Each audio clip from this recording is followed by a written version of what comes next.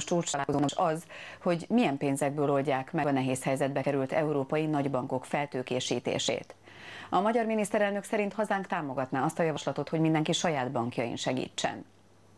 Az egyik lehetőség az, hogy minden ország a saját bankjait kezelje. Én szimpatizálok ezzel a gondolattal, mert Magyarországon egy nagy európai jelentőségű bank van, amely magyar, ez az OTP, és az OTP az a mostani megpróbáltatásoknál súlyosabbak elviselésére is alkalmas állapotban van.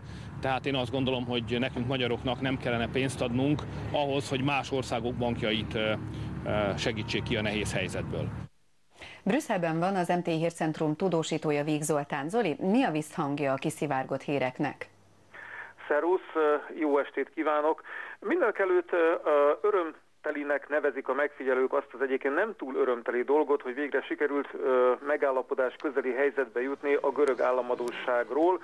Az, hogy az európai ö, bankoknak, amelyek Görögországnak hiteleztek, le kell írniuk veszteségként eme adósságok 50-55, esetleg 60 százalékát stabilizálhatja a helyzetet. Márpedig azért, mert Görögország technikai csődje ezzel ugyan bekövetkezik, de nem kezelhetetlen a helyzet, nem válik talán olyan eseményé, amely fölött már nem tudnak kontroll gyakorolni az európai pénzügyi piacok és a pénzügyi szereplők. Ugyanakkor továbbra is nyitott a kérdés a bankok feltőkésítése kapcsán, különösen, ahogy a magyar miniszterelnök szavaiból is kiderült, két elképzelés csak össze.